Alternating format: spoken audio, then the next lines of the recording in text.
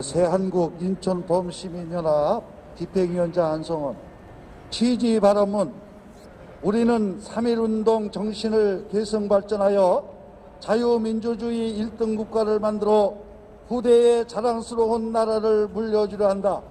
그러나 문재인 정권은 대한민국의 안보, 경제, 자유와 인권을 무너뜨리고 적폐청산이라는 듣도 보도 못한 용어로 전직 대통령 정치인, 경제인, 종교인을 한거불능하게 하여서 감옥에 가두고 있다.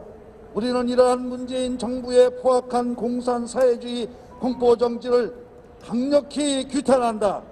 우리는 헌법이 고장하는 자유민주주의 기본 질서인 국민이 권력인 선거의 참정권을 침탈하는 부정선거에 대하여 반드시 사실을 밝혀 국민의 힘으로 처벌을 요구할 것이며 정부와 관이 나서서 집회의 자유를 불허하고 반집회로 규정하는 독재 행위를 중단할 것을 경고한다.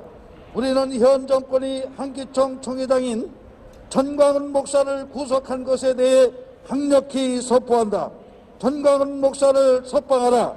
우리는 문재인 공산사회의 정권의 형태에 더 이상 묵과할 수가 없어서 오늘 이 자리에 나왔으며 대한국 시민단체와 온 국민이 함께 이 운동에 동참할 것이다. 대한 새 한국 인천 번시민 연합 일동